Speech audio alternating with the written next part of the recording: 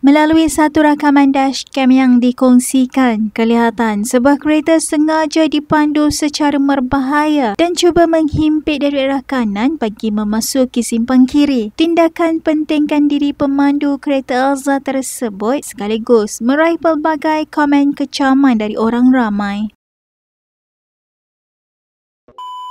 Hmm, jalan lah. Jalan, jalan. Kejap lah, cepat ni. Oh, laju ni. Yalah sebab ni one way je kan. Dia Mana kat dia? lagi. Bawah ni Ah, ke depan ni? Oh, depan ni, depan ni. depan ni. Ay, kau itu jalan. Eh, kau. La ilaha illallah. Astagfirullahaladzim. Ambil nombor-nombor dia. Baik aku perlu siap. Oh, kiamat betul. Astagfirullahaladzim. Asap ka kasi nakakita mo. Tanabuhin.